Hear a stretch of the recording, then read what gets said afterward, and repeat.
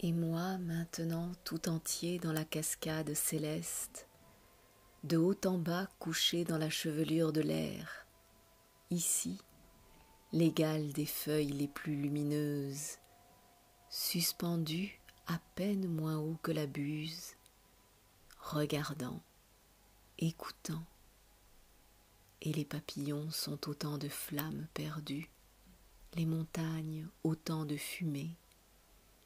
Un instant, d'embrasser le cercle entier du ciel autour de moi, j'y crois la mort comprise.